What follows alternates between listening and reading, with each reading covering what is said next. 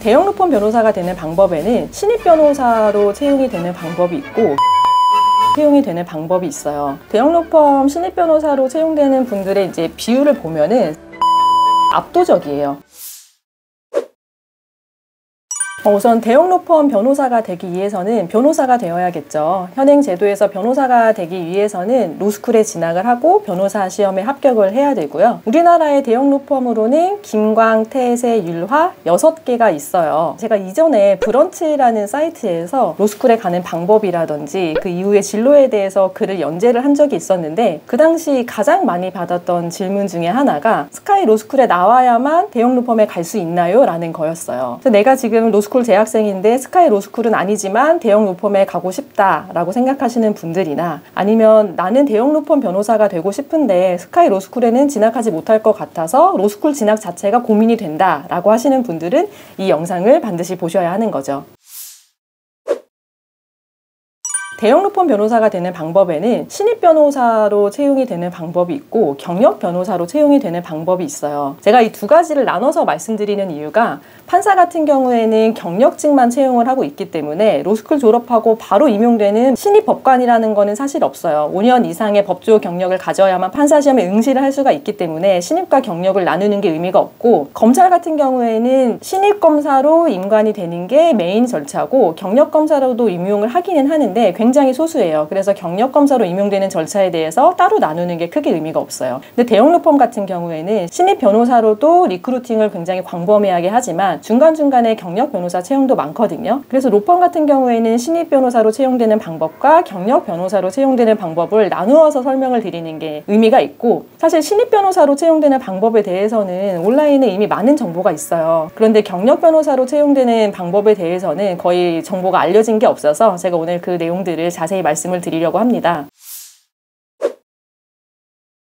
우선 신입 변호사로 대형 로펌에 입사를 하는 거는 변호사 시험을 보고 나서 결정되는 거는 아니에요. 신입 변호사도 대형 로펌 변호사가 되기 위해서는 로스쿨 과정 안에서 다 결정이 되는데 로스쿨 과정이 총 3년이거든요. 2학년 여름방학이라든지 2학년 겨울방학, 3학년 여름방학에 대형 로펌에서 인턴십을 진행을 해요. 그래서 그 인턴십에 나아가서 퍼포먼스가 좋은 학생들에 대해서는 채용 입사를 confirm을 미리 줘요. 이거를 업계에서는 confirm을 준다라고 부르는데 대부분 2학년 겨울방학에 confirm이 많이 되고요. 3학년 여름방학이면은 신입 변호사 대형 로펌 채용 절차는 거의 closing이 돼요. 그래서 신입 변호사로 대형 로펌 변호사가 되고 싶다라고 하시는 분들은 로스쿨 성적이 정말 좋아야 돼요. 왜냐면 일단은 로스쿨 성적이 좋아야 인턴십에 갈 수 있고 인턴십에서 잘해야 confirm을 받을 수 있기 때문이죠. 그런데 사실은 대형 로펌 신입 변호사로 채용되는 분들의 비율 비율을 보면은 스카이 로스쿨이 압도적이에요. 뭐 많은 편이다 이런 거를 넘어서서 압도적인데 다른 로스쿨이라고 해서 차별을 한다기보다는 요즘에는 대부분의 스카이 로스쿨의 상위권 학생들이 다 대형 로펌에 입사를 하고 싶어하고 대형 로펌에서 뽑는 신입 변호사의 pool은 정해져 있기 때문에 스카이 로스쿨의 최상위권 성적 학생들만으로도 pool이 다 찬다고 보는 게 정확한 거죠.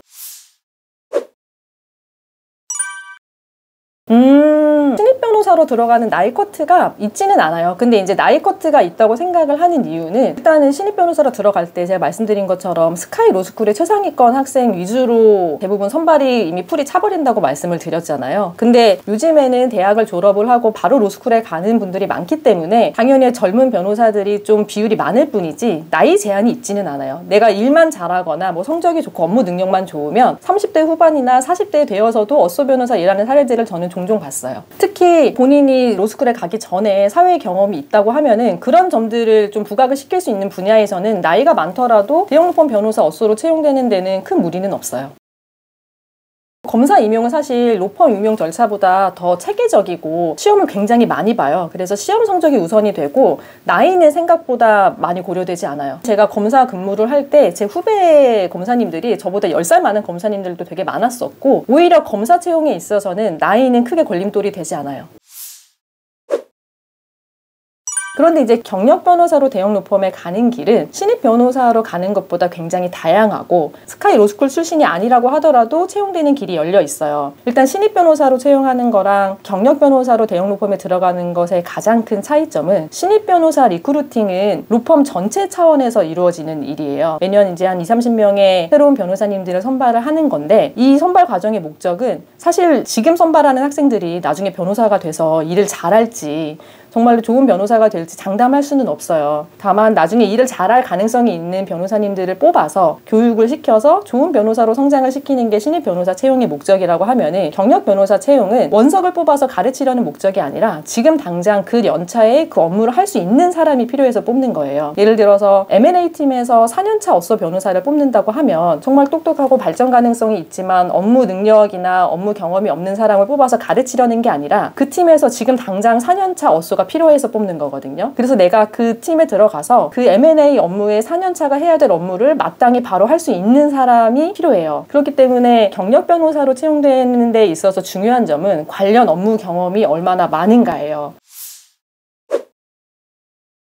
제가 대형 로펌에 있을 때 경력 변호사님들이 제출한 이력서를 검토하는 역할을 제가 했었거든요. 그러면 사실 좋은 로스쿨이라든지 아니면 성적이 좋다든지 뭐 어학 능력이 좋은 분들은 굉장히 많아요. 그렇기 때문에 그것만 가지고서는 두각을 나타내기가 어려운데 관련한 업무 분야에서 경험이 있거나 업무 성과가 있는 분들은 굉장히 매력적이에요. 그래서 그때도 제가 한 20명 정도의 이력서를 검토를 하면서 가장 눈에 띄는 분은 두 명이었는데 이제 관련한 업무 경력이 있고 업무 성과가 있는 분들이었거든요. 그래서 제가 뭐 그분들 채용을 결정하는 건 아니지만 이 두 분을 가장 추천드린다 하고 추천을 했고 실제로 이제 대표님들 면접을 통해서 선발된 분들도 같은 분들이었어요. 그래서 내가 지금 당장 대형 로펌에는 못 가지만 나중에 경력직으로 입사를 하고 싶다 하시는 분들은 내가 어떤 분야를 하고 싶은지를 좀 빨리 정하셔서 그 업무를 하는 중형 법인이나 소형 법무법인에서 업무 경력을 쌓으시는 게 좋아요. 저는 스카이 로스쿨을 나오기는 했는데 제가 어소 변호사로 근무할 때 어소 변호사들 로스쿨 비중을 한번 확인을 해보면 저희 팀 팀에서 스카이 로스쿨 출신이 한 반 정도 있었고요. 스카이 외에 로스쿨 출신이 한 반 정도 있었어요. 저희 팀은 경력 변호사 채용이 굉장히 많은 팀이었거든요. 그래서 내가 스카이 로스쿨이 아니라고 하더라도 관련한 업무 경험만 잘 쌓아놓으면 충분히 길이 열려 있다는 거고 물론 내가 아무런 능력도 없는데 대형 로펌 변호사로 입사하는 거는 쉬운 일은 아니에요. 그런 거는 거의 불가능하지만 내가 가고 싶은 분야에 계속 관심을 가지고 있고 업무 능력을 쌓으면 충분히 길이 열려 있다는 거고